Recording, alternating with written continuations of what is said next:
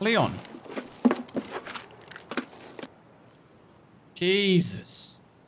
What is that? Is that for a hidden stash? It's nuts.